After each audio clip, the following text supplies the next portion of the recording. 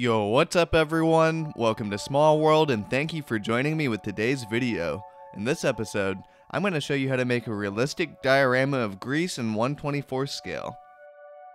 I'll cover how to make buildings from foam core, cut and assemble stairs from pink foam, apply stucco texture to walls, make and paint foam stone walkways, make and paint 3D printed details, 3D print and assemble miniature flowers, and much more. Let's get started with the design. Before making the miniature, I 3D modeled the layout of how I wanted the diorama to look. I'll refer to the taller building on the left as Building 1 and the shorter one on the right as Building 2. As you can see, both buildings sit on a raised platform behind a few walls. I start by cutting the walls of Building 1 from half inch foam core. This is the thicker version that you can get at most craft stores, and because it's thicker, it's much harder to cut and takes at least 4 to 5 passes to cut all the way through. With that being said, it's super important to take your time with this step and use a very sharp blade. Be sure to replace it regularly to achieve consistent clean cuts. Don't worry if your foam board has slight dents or damage on the front. The entire surface will be covered by a stucco texture, so these small imperfections won't be visible later on. You can see how slow my cuts are. I'm applying firm pressure to make sure that the blade doesn't slip, but I make sure that the blade is doing most of the work. Now it's time for my least favorite part of the whole project, cutting out the holes for windows and doors. I find this really challenging to cut holes out of foam core this thick. Also, my cuts usually aren't square all the way through. Like before, I take my time until I can easily pop out the piece I just cut. Now I'm test fitting one of my 3D printed doors for building 1. The fit looks pretty good, and I'm making sure that everything fits properly as I go. That way, there are no unpleasant surprises later on in the project. I continue to cut out another door and a window in the facade of building 1, following the same process as before.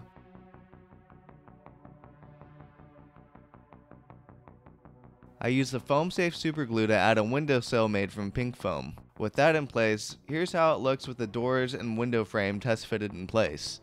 It's not perfect, but they fit pretty well for the most part.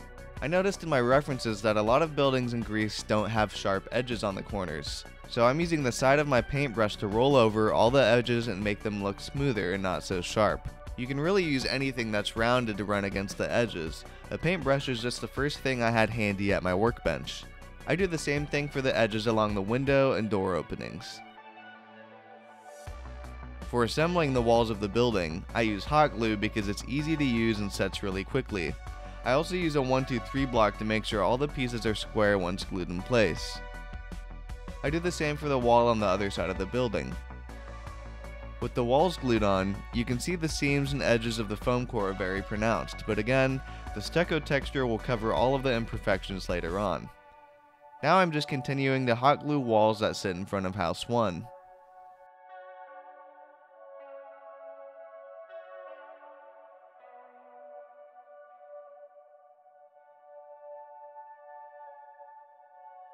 The next step is to make a staircase that leads up to the front door of building 1. I'm using my Proxxon hot wire table to cut pink insulation foam into strips that will make up my steps. I first cut pieces that are an inch and a half wide which makes up the width of the staircase.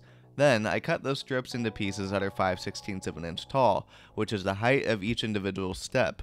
I leave the heat of the wire on a relatively low setting because I find that it makes more precise cuts this way.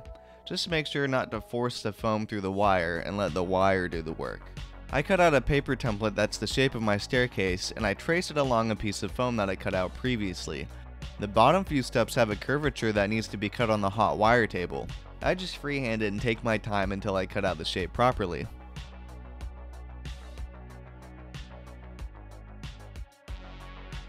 Here are the first two steps stacked on top of each other.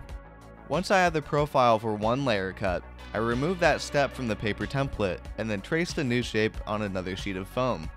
Then it's just a matter of cutting out the new shape and repeating the process step by step. I glue the individual layers together using the foam safe superglue.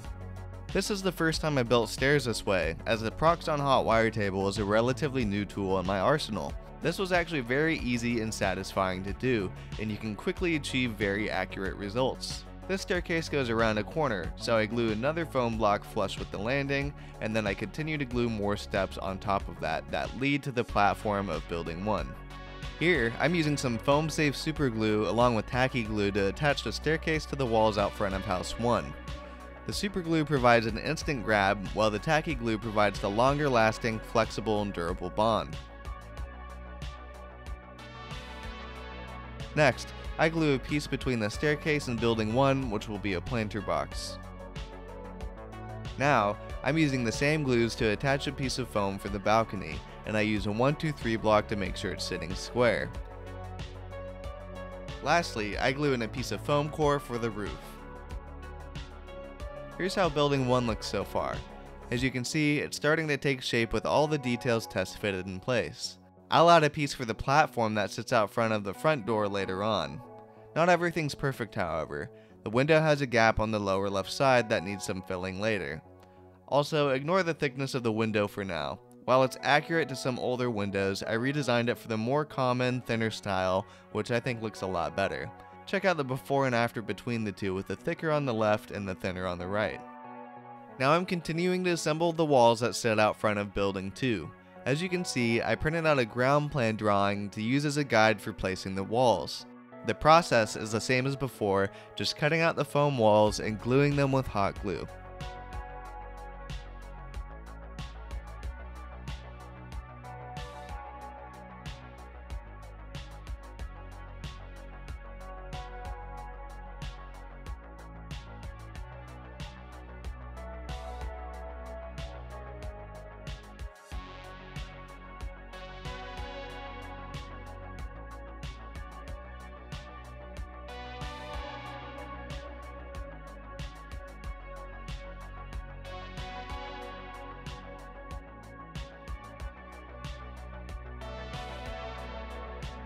Now I can make the second staircase leading up to building 2. I'm using the drawing to mark my cuts for the pink foam, and again, I'm cutting the pieces with the Proxxon hot wire table. Like before, the rise of each step is 5 16 of an inch, and the run is 3 8 of an inch. Each landing is a 1.5 inch square. Foam safe super glue is used for attaching all the pieces, and I just work my way up each step.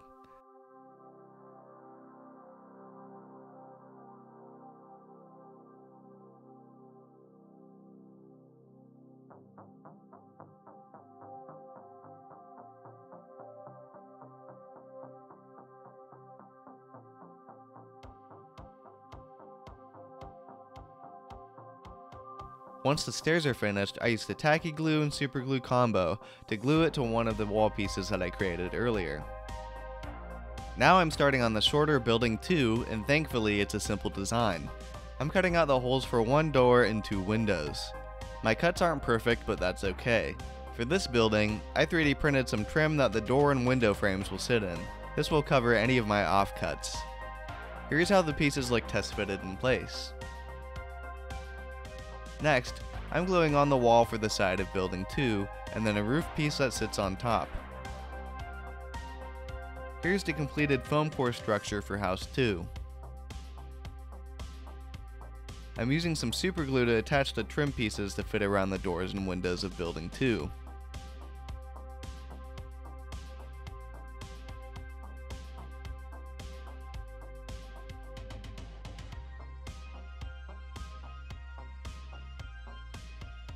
I pop out the window frames and will install them later again after painting. Any large seams or gaps are filled with spackle before the next step. Now I'll show you how I applied the stucco texture to the buildings and walls. I made my own homemade stucco paste by mixing matte Mod Podge and white acrylic paint in a cup, along with a couple spoonfuls of plaster and some water until I got a brushable paste. I didn't measure any of the ingredients, but you'll see that at times it's runnier and more watered down, and at some other times it's much more thick because I had to create multiple batches to cover everything. I started by applying a thick mix into all of the openings of the windows and doors of House 1. As I mentioned before, I had some gaps between the walls and windows on this building, so this is how I filled them. I know it looks messy, but it's better to apply more than less at this stage. You can always sand away the excess material until the doors and windows fit properly. Once dried, that's exactly what I did. I used some 400 grit sandpaper to smooth out the paste along each of the hole openings for the windows and doors. I kept doing this until I was happy with the way the windows and doors fit. It's not perfect, but the gaps are much less visible than before. I quickly glue a piece on top of the balcony, and then I apply texture to the remainder of building 1. First, I spread the paste on using a brush in a thin layer. Then, I take the foam brush and I start stippling the surface to create the stucco texture. The more you dab the surface, the finer and more realistic the texture becomes. While this process is super simple, I completely underestimated how long it would take. In all, I probably spent about 4 days applying texture to all the walls of the entire project. Not only does it take a while to get the texture fine enough to be in scale, but I applied multiple applications to build up the density that I was looking for. Each wall and building received at least two applications. Some even needed three or four coats. If you're only doing one building, this process could easily be finished within a day, but since this project has a lot of surface area, that's why it took me so long to do. With all that being said, I think the effort was worth it and I was pleased with the results of the texture. What's nice about this homemade paste is not only is it cheap, but you can use it to create a variety of surfaces and textures. It sticks really well to the foam core surface, and I had no issues with it flaking off after it dried. If you're going to be overly ambitious and make several walls and buildings with this texture, then I definitely recommend having a lot of brushes and foam brushes at your disposal.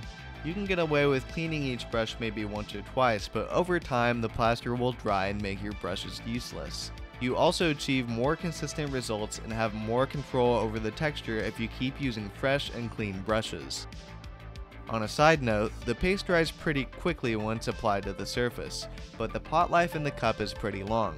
Most of the time, I could use the same batch of paste for about 45 minutes to an hour. This is a much longer pot life than if I were to just use an ordinary batch of plaster and water. Once dry, I glue the two wall pieces together that sit out front of building 2 with the super glue and tacky glue combination. Again, I'm using the printed ground plan drawing to make sure that things line up properly. I fill any gaps between the walls and stairs using a thick mixture of the stucco paste and a brush. This worked out fine, but I'll show you another method later on.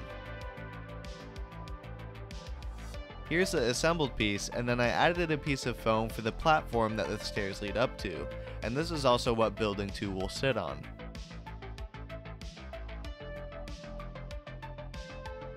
I glue a piece of foam to fill a gap between the stairs and the platform using the foam safe super glue. I had a large gap between the platform piece and one of the walls, so I filled it with a piece of foam and then I smoothed out any irregularities with spackle. Next, I quickly add a foam piece for the platform of building 1, and again I use a piece of foam to fill a gap between the stairs and the platform. And here's how the completed pieces look with the stucco texture applied. Again, I am very pleased with how the texture came out, and I think it looks very realistic. Greece has a lot of variety in the surface finish of exterior walls. Some are completely smooth and some are extremely rough. I decided to go somewhere in between, more towards the rough side based off some reference images. Now I'm using some super glue and hot glue to attach building 1 to the building 2 platform. I just hold the pieces together until the hot glue sets. I flip the model on its backside and I'm applying tacky glue to all of the bottom edges. I marked how I wanted the building to sit on a 2 foot by 2 foot plywood base and then I just set the model in place. I wasn't sure if tacky glue was the right glue for this, but it worked perfectly and dried super strong. Then, I added some more tacky glue to the bottom and side of building 2, and I attached it to sit flush against building 1 and the second platform. Once in place, I used a 1-2-3 block to make sure building 2 was sitting flush against building 1. And here's how it looks so far glued to the base. It's starting to come together nicely, but there's still lots of work to do.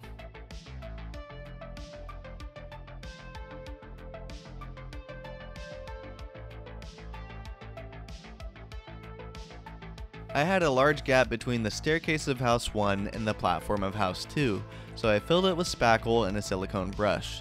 This was super easy to do, and while the previous method of using an ordinary brush and thickened stucco mix worked well, I thought this was easier. I also had a small gap between the building 1 and building 2, but this was quickly filled with spackle.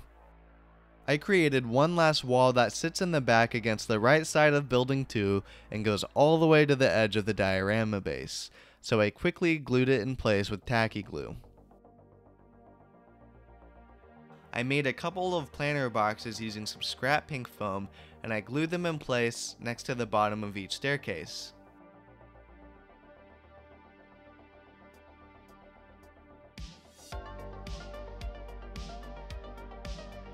There's a lot of empty space in the foreground of the diorama base. Initially, I didn't have a plan for this area, but I decided to make an observatory platform. I glued a short wall along the front edge of the wooden diorama base. Then, I cut a piece of foam for the foreground platform itself, and I fixed it in place with tacky glue. I cut it at an angle so it ran parallel to the walls out front of buildings 1 and 2. I made some more foam planter boxes to line the perimeter edge of the platform which helped it feel more integrated into the space. I left two entryways to step up on top of the platform from the walkway on the wooden base. And here's the final construction of the foreground platform and the planter boxes. I think it fills up the space nicely and looks much better than leaving the foreground open. I mix one last batch of stucco paste and I coat all the new pieces that I added. It was nice knowing I didn't have to mix any more batches after this because I was already getting tired of applying the texture at this point.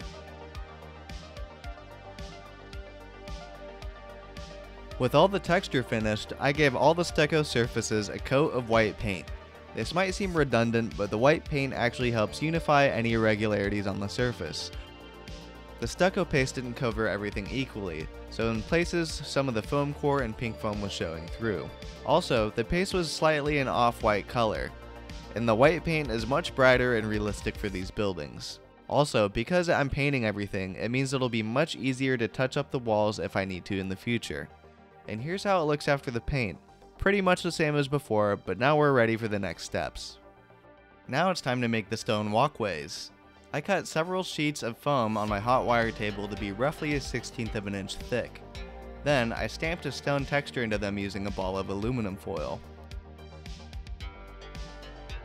From there, I used scissors and cut the sheets into randomly shaped strips. Then I take the strips and cut them randomly to the rough size I want my individual stones to be.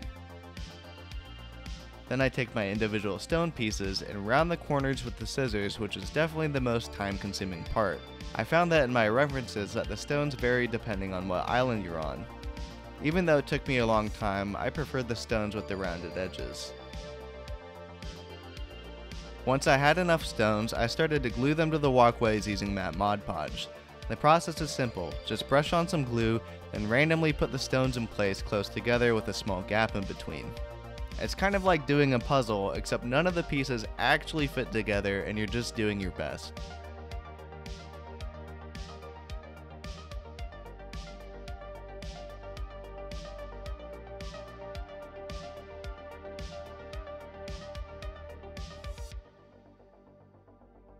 This is how they look all glued down, and I think it looks pretty cool.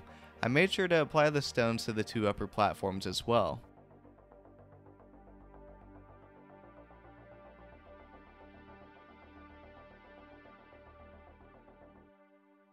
Once the glue dried completely, I went back and stamped more stone texture into some of the stones with aluminum foil. This was the last time I could add additional texture to the stones before painting.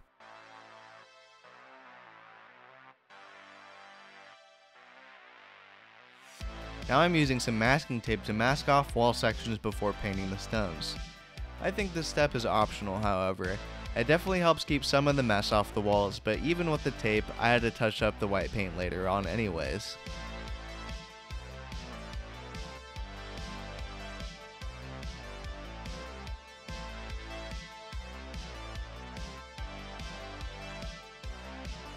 I started by base coating all of the stones with this dark gray color.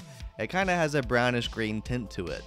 The only thing to keep in mind with this step is to make sure you cover all of the pink, Occasionally, I would dip my brush in some water because I found that it helped spread the paint easier, especially since there was a lot of texture in the stones that the paint needed to coat.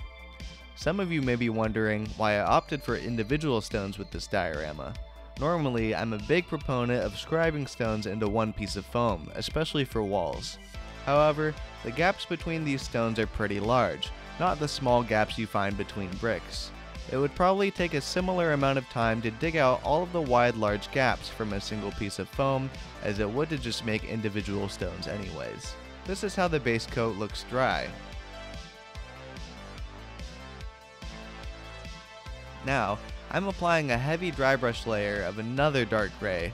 This one is slightly lighter than the last one, and has much more of a brown color mixed in.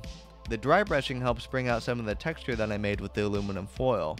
However, this dry brush layer is still pretty subtle due to the grays being similar values. Next, I dry brush a much lighter gray on top, and I make sure not to apply it as heavy as the previous layer. I do one last dry brush layer over the stones using a light beige color. Again, all of these layers work nicely together to help bring out that stone texture from earlier.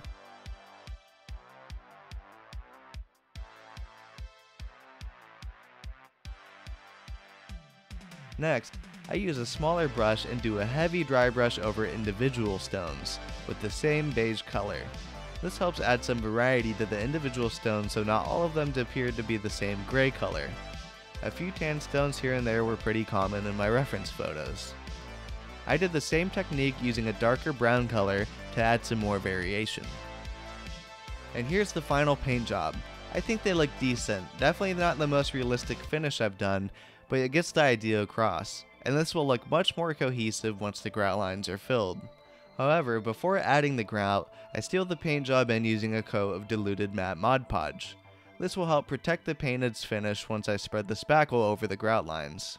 I've gotten away with skipping this step in the past doing my brickwork because bricks are much more flat and the mortar lines are much thinner, so you can easily rub away any excess spackle on the bricks with your fingers. However, these stones have much wider grout lines and the surface is much rougher than the bricks, so I have to be pretty aggressive when applying the spackle. Once the Mod Podge is all applied, I let it dry overnight before starting the next step. I apply spackle between the stones using a scrap piece of styrene. This really helps spread the spackle between all the stones. To remove excess spackle from the tops of each stone, I apply firm pressure with the styrene sheet and drag it along the surface. This does a good job of removing the spackle from the tops of the stones while leaving the rest in the joints between the stones. I repeat this process for all of the stone surfaces. Occasionally, I find that it's easier to spread the spackle using my fingers, especially in areas against walls or tight corners. Once applied, I remove the yellow masking tape and as you can see, it definitely helped, but some stains still got under the surface and stained the white walls. I'll be fixing this later on. While the styrene sheet removed most of the spackle from the tops of the stones, some of it's still present on the top surface of several stones, making them appear slightly chalky. At first, I was going to leave it, but I couldn't find any references of stone walkways with the white texture on top of the stones themselves. So I mixed up a dark gray wash and painted over all the white spots. I know that it looks like I'm painting the stones a solid color, but the wash is actually highly diluted. Once dry, the white spots turn to more of a light gray color, which looks very realistic. I definitely had to take my time with this step as I wanted to make sure that I only painted the stones and didn't get any of the paint on the white grout joints. And here's how the finished stonework turned out. It took a few days, but I'm pretty happy with the results. Now I'm touching up all the white walls that received some brown and gray stains from the stone painting phase. This step really helped tidy up the diorama and made everything look much more sharp and clean looking.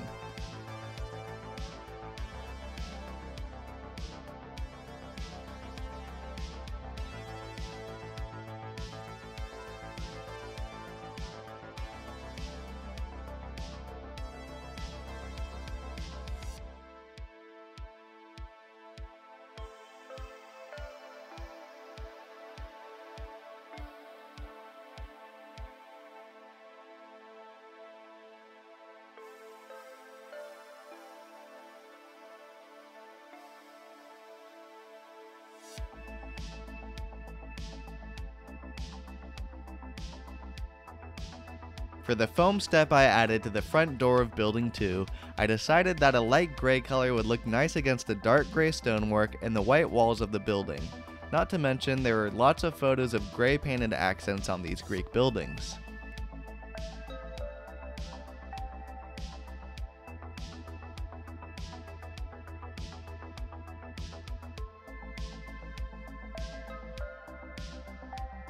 Now with all the gaps filled and everything painted properly, it's time to move on to the next step.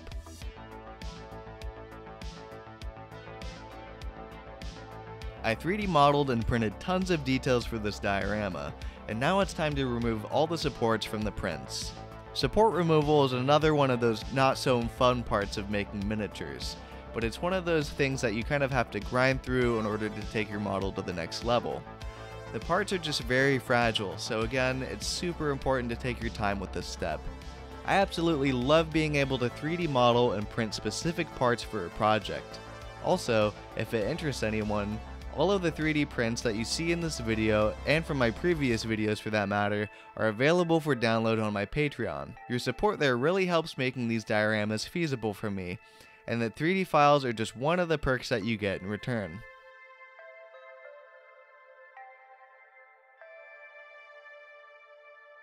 Removing the supports from the table was the most difficult one. I think I broke a leg off of every table when removing their supports, but luckily, the breaks were clean and just a dot of superglue solved all the issues. I like using the X-Acto blade and some side cutters for removing most supports.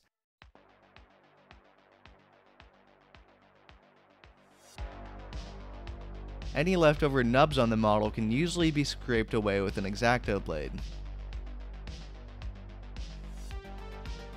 While complex shapes like chairs and tables are harder to remove supports from, flat objects like this railing are much easier. Just a couple swipes with the X-Acto and it easily breaks away from the supports. Any leftover remnants can be removed by rubbing them away with your fingers. Just be sure to be gentle as the railing itself is very fragile. I repeat this for a gate and another railing, and the windows and doors were similar to this process as well. I use a couple dabs of super glue to attach the sides of the railing to the front piece. This railing is for the balcony on building 1. All of the pieces needed some amount of sanding, but the tables and chairs especially. I sanded over all of the areas where the supports were attached with 400 grit sandpaper. This worked out really well, but it took quite a while to do.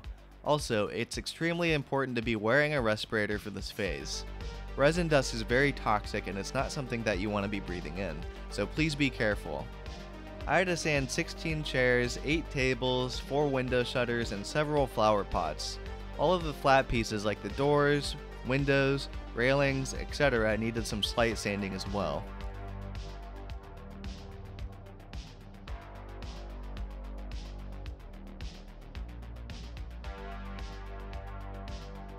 Here you can see the difference between the print off the printer with all the supports on the left compared to the clean model on the right. Now it's time to make a trellis that attaches the building 2. I printed out a plan drawing so I could see how all the pieces connect together. I cut two beams to length, one will be attached to two posts and the other attaches to the facade of building 2.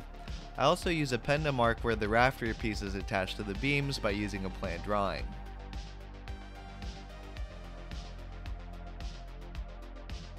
I glued two square quarter inch basswood posts to the front beam using super glue. The beams are a quarter inch by an eighth of an inch thick. This is how the front beam looks with the two posts attached. I actually 3D printed the rafter pieces. Normally, I would have made them from balsa wood, however, I designed this to have a pretty strange angle and it would have taken me a long time to notch the balsa wood planks because of that. With the 3D printed parts, I knew that everything would line up properly against the two beams. I just glued the notched 3D printed rafter pieces in place using some super glue. I started by attaching the end pieces to both beams using the markings I made. This gave me the correct overall shape. Due to the odd shape of the trellis, I thought it was going to take a long time and need some tweaking to fit nicely against the building. However, it fit perfectly and only took about a half hour to make. Here's the completed trellis. I'm very happy with the way it turned out.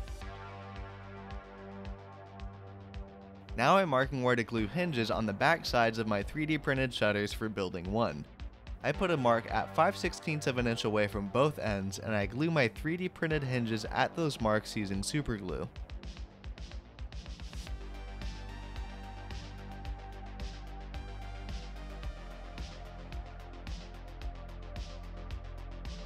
Here, I'm painting all of my 3D printed pieces with an airbrush.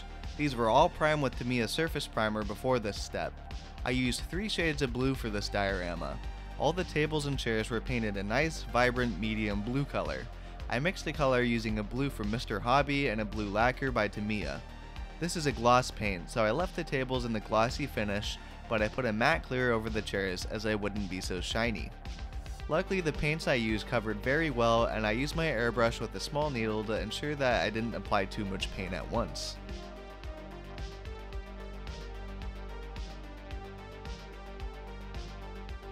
The chair cushions were painted with Tamiya Buff, and you can see why I printed them separately from the chairs themselves. It's so much easier to paint different colored pieces separately. All of the accessories for building 2 were painted with this light color by Rust-Oleum. I actually decanted the spray paint by spraying it in a cup and I thinned it down with the Tamiya lacquer thinner. It sprayed beautifully through my airbrush and it covered extremely well. I decanted the paint because sometimes large spray cans can put out too much paint at once, and they can flood details of your small parts if you're not careful. An airbrush gives you more control over how much paint you actually use. All the parts for building 1 were painted with a dark blue color by Rust-Oleum. Again, I decanted the paint and sprayed it through my airbrush. At first, I was afraid that this color was too dark, however, once everything was assembled, I really like how the color looked.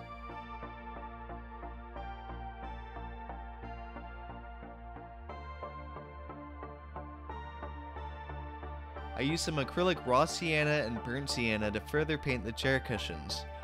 All I did was brush the paint in the direction of the lines that I modeled the print. Some patchiness or streaks help add to the finish that you commonly see with these cushions. I used a Tamiya Gloss Black spray paint for the railing. Tamiya spray cans are actually very good at providing a light, even coat of paint, so if you don't have an airbrush, I'd recommend them for sure.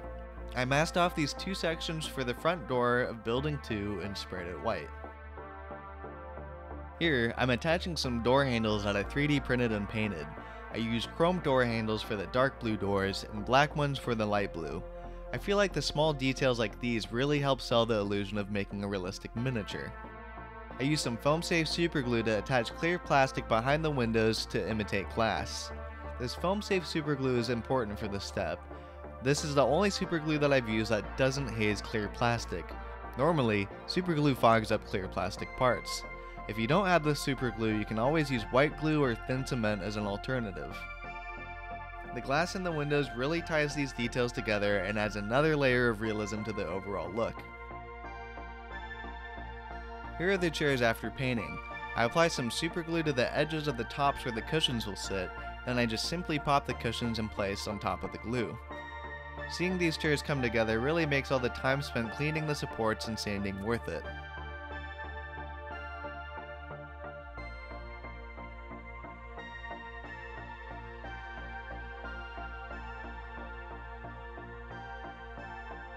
I paint the terracotta flower pots by hand using some acrylic paint. Ironically, most acrylic terracotta colors are too red for these pots. References show more of a yellow-brown color. Each pot took two coats of paint and I made sure to apply a surface primer beforehand. Now it's time to install the windows and doors. I simply just press them into place because the tolerances are so tight, especially after using the stucco paste to fill in the gaps. I may go back and add some glue to the inside at a later date though. I used some tacky glue to glue the trellis in place. The two posts were glued to the tops of the platform walls, and the back beam was glued to the facade of Building 2. The shutters were glued to the window frames of Building 1. Just a couple dots of super glue on the hinges did the trick. The balcony railing was attached using tacky glue on the ends.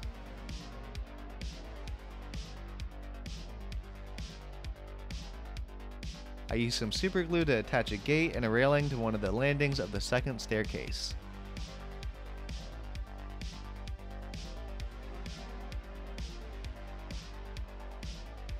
This is when I finally was actually pleased with the way things were looking. Up until this point, I may have liked the way individual techniques turned out, but I was doubtful about the overall diorama and how it would come together. Seeing all these painted, finished details I 3D modeled and printed finally in place was super relieving to see. I used a twig from a sagebrush plant to act as a trunk for one of my flower bushes that will sit on top of the trellis. I glued the base of it in a planter box with tacky glue, and I glued the branch down to the trellis using super glue. I filled the planter boxes using real dirt that I sifted from my front yard. I just plop a spoonful in place and spread it out with a brush. Then, I soaked it with isopropyl alcohol and then used a pipette to drizzle some watered down Mod Podge to lock everything in place. I know it looks like a mess, but trust me, it works every time. The isopropyl alcohol breaks the surface tension, which allows the glue to penetrate through all the dirt. If you skip the alcohol step, the glue would just beat up on the surface of the dirt.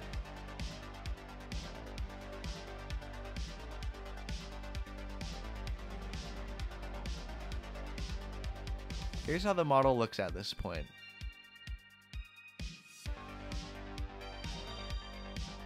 Now it's time to add some green stuff. All of the greenery I used was from Diorama Presepe. No, I'm not sponsored by them, but I just think that they make the best scenery products on the market. I'm gluing these leaves from the surrender bush to the top of the trellis using tacky glue. All of the leaves are attached to a mossy carpet underneath them, so as long as the glue touches the moss, you shouldn't have to worry about the leaves falling off. I used the queen bush to fill the planter boxes by each staircase, again, fixing it in place with tacky glue. These plants look exactly like the greenery I researched in my reference photos.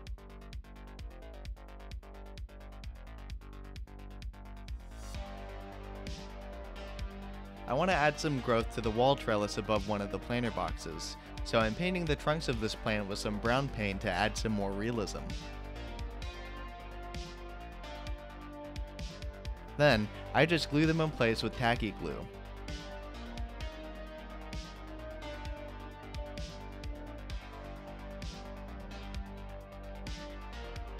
I use smaller pieces of the same plant to fill the planter boxes that surround the perimeter of the foreground platform. I simply dip the ends in tacky glue and set them in place. I'm not too worried if I leave a few bare spots, I'll be adding some flowers later on.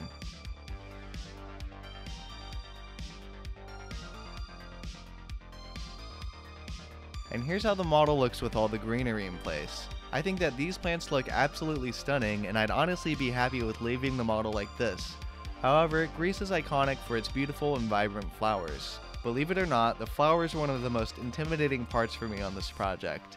I know that in the modeling community that dyed crushed foam is a popular choice for emulating flowers, but I wanted to try a different approach.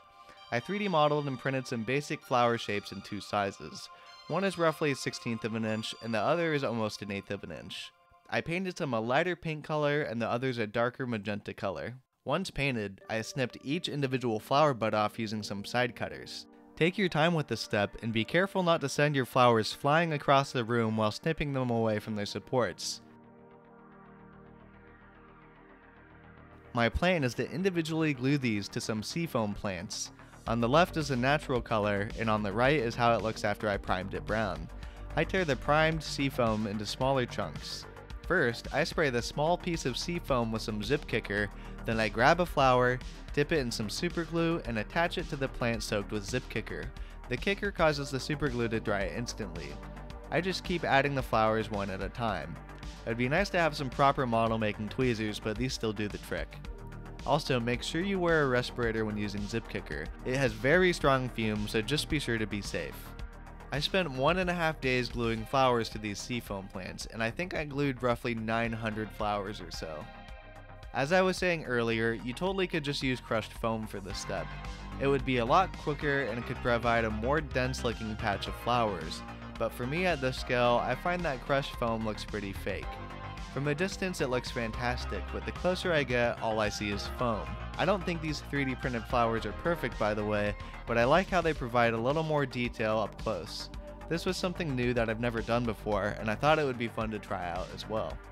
The flowers on the left are the lighter pink ones, and the ones on the right are the magenta color that's more on the purple side. Here are all of the plants that I made. I know it doesn't look like much, but these took forever to make. I use a small funnel to fill the flower pots with dirt, and again, I soak them with alcohol and diluted Mod Podge to lock the dirt in place. Here, I'm adding some more plants from Diorama Presepe.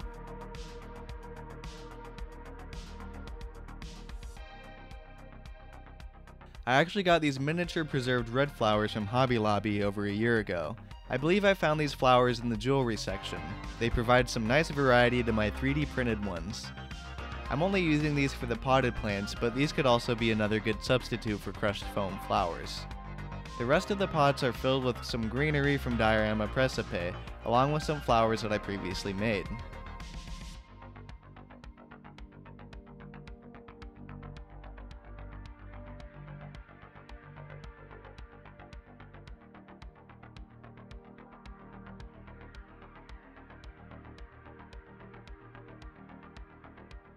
I combine a few of these plants together by gluing their trunks with super glue to make a small tree.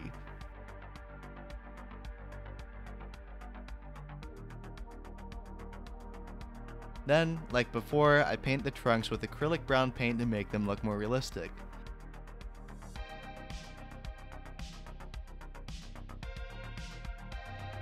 Once dry, I dry brush them with a lighter tan color to add some more texture and achieve a more realistic result. Then, I apply some tacky glue to the bottom and stick the trunk into a pot. Then, I apply my flower bushes using some super glue.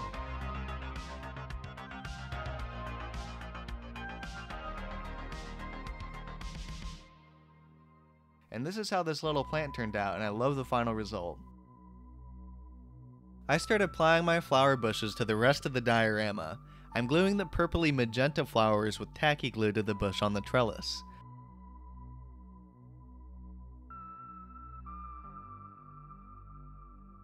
I used the same color to fill the planters below with the queen bushes installed.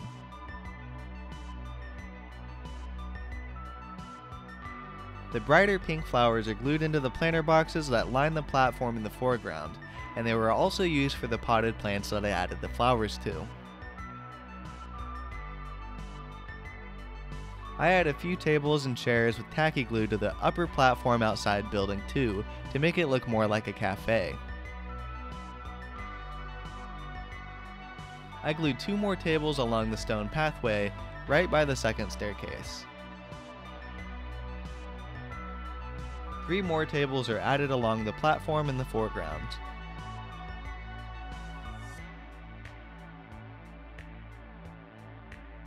With all the furniture in place, I continue to add more potted plants across the whole diorama.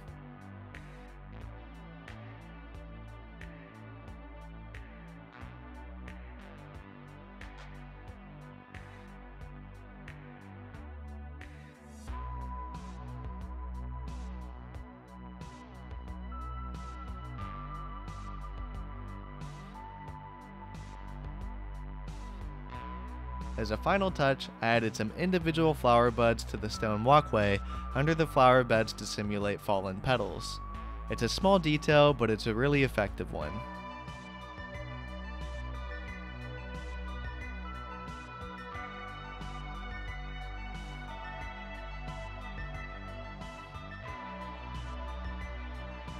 I took the model outside in the sun to get these shots of the final result. It was very rewarding to see the whole project come together at the end. This model was completely different than any project I've ever done before. In my previous works, painting and weathering was my favorite part of the process which was very limited in this project. Everything was painted white while the details were painted blue and there was no weathering. But surprisingly, I didn't miss the weathering process in this project. There was something very satisfying with just popping in my finished doors and windows and seeing the final result right there and then. I learned a lot throughout this build, but probably my favorite thing I learned was using the 3D printed flowers. I think there's a lot of potential to expand upon this technique in future projects. Also, I want to give a big thank you to all my patrons. Your support means a lot to me, and it helps fund these projects. You really help keep me inspired to complete everything all the way through. If you'd like to join them and support me on Patreon, I'll have a link in the description below. Depending on what tier you select, you'll have access to behind the scenes pictures from whatever project I'm working on before I post on any other platform. Also, the STL files of all of the 3D prints in this video, as well as files from other projects, are available for download on Patreon. Anyways, thank you so much for watching, and I hope to see you next time.